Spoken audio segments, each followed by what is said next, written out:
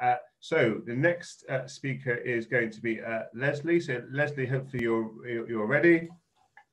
Um, Leslie comes to us from Falls Church, VA, just outside Washington, DC in the United States.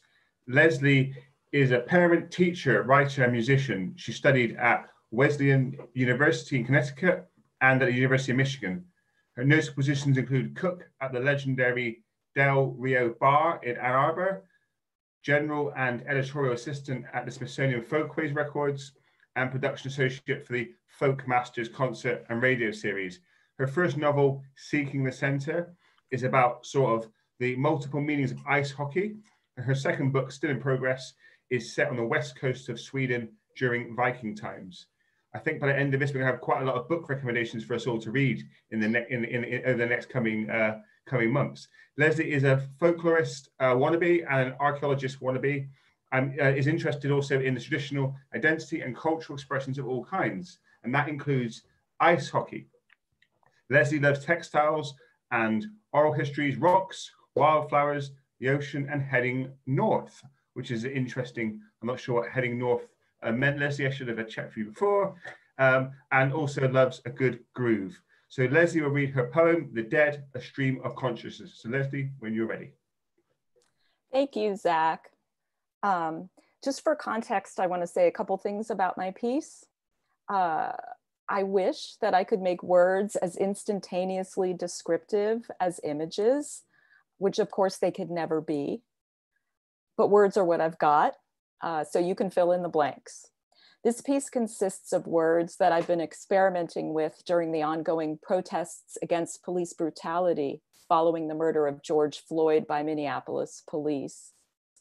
The words are inspired by the righteousness and manifold beauties of the protesters and by their courage, strong against the backdrops of a global pandemic and continuing state sanctioned, state sponsored violence against people of color. I want to remember those who've died during this dark time and those who live on, hoping and working and fighting for a future time of light. I wish for us to be in solidarity and to share strength with one another. The title of the piece is The Dead, a Stream of Consciousness.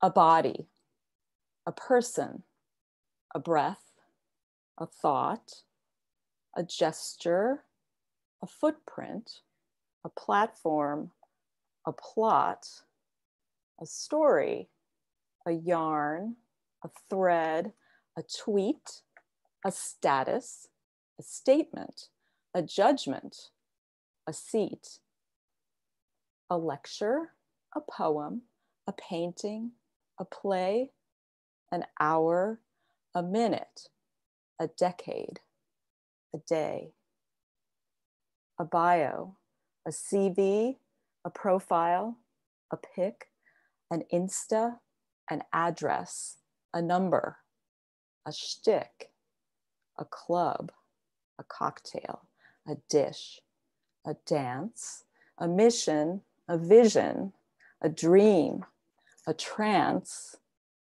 a hairdo, a piercing, a color, a style, a ribbon, a rainbow, a mask, a smile, a move, a groove, a drum beat, a lick, a pop song, a playlist, a soundtrack, a flick, a hit, a catch, a toss, a spin, a slide, a jump, a shot, a win, a loss, a gloss, a goal, a glitch, a moonshot, a spaceship, a goddess, a witch, a worker, a waiter, a lover, a bloke, a pinch, a sip, a smoke, a joke, a dust up, a quarrel, a quibble, a quark,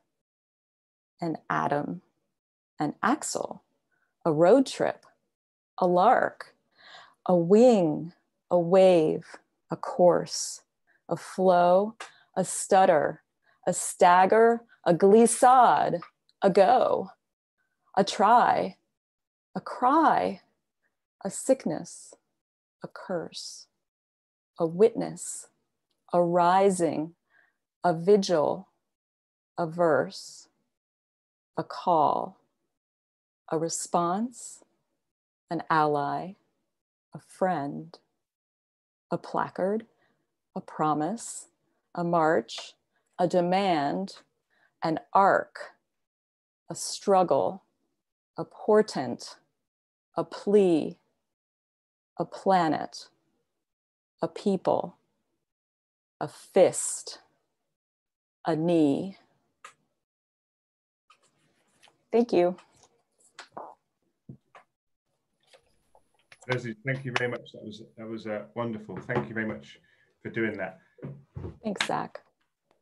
I realize I'm probably clapping on behalf of all 70 plus people. So Leslie, this is a this is a, the most thunderous clap I can do for you. So that was Thank you.